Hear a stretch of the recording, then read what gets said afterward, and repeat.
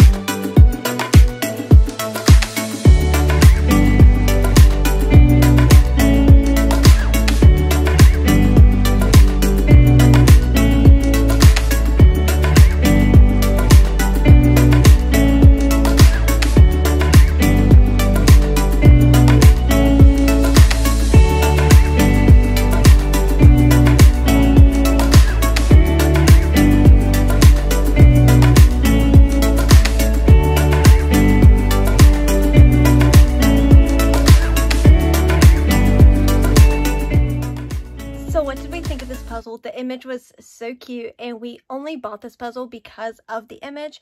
We loved it so much. We are a sucker for cats. We love cats so much. Um, and honestly with this one, it was pretty easy at the very beginning and then it just got harder as you went on with it.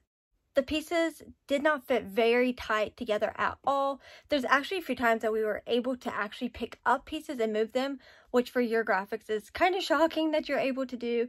But as you can see in this clip here, they just fell apart when I tried to pick up a chunk and show you guys. The rainbows up top was pretty easy, but once you got to the cats, they did get pretty hard because you do have two orange cats, you have a white cat, which was pretty easy, and then there is like four cats that is just about the same color, brown color. So those are pretty hard to separate and figure out which cat was which. The shoes were also pretty easy. I did the purple heels and I did the Converses. The Converses took me a while to get started on, but once I got started on them and figured out where to go with them, they were pretty simple and got done pretty quickly. The purple heels I got done pretty quickly with. My mom did the blue shoes and I don't think she really had a problem doing those at all. The major time constraint was definitely doing the cats. This puzzle definitely reminded us of our little kitty Pebbles, and as you guys are going to see, he did possibly eat or swipe one of our puzzle pieces. This is the culprit of the missing piece right here, right there. We've had problems with him in the past of taking them and just playing around with them. He's a pretty good cat. He really doesn't eat things that he's not supposed to eat. But the, for some reason this time we cannot find this piece to save our life.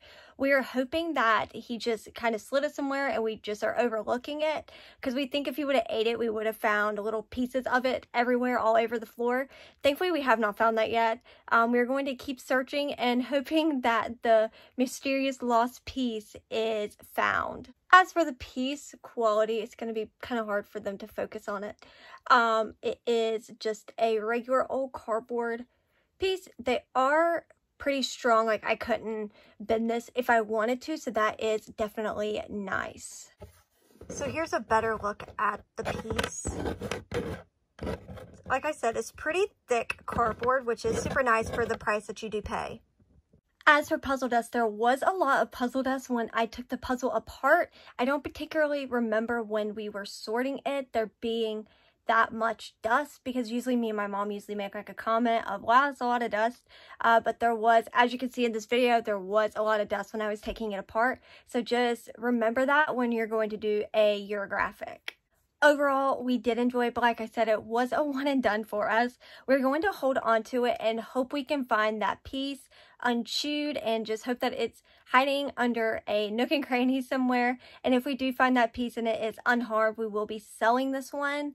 Other than that, we would have probably kept it if the cats weren't kind of challenging to do. Thank you guys so much for watching. If you enjoyed this video, make sure that you hit that like button and that subscribe button to stay up to date on all of the things that are on my channel. I'm only 15 subscribers away from 100 subscribers. I am so excited.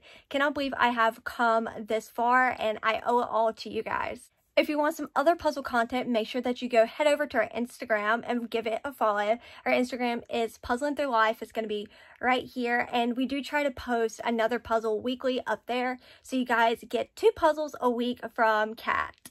Thank you guys so much again for watching. And I will see you in my next week video. Bye.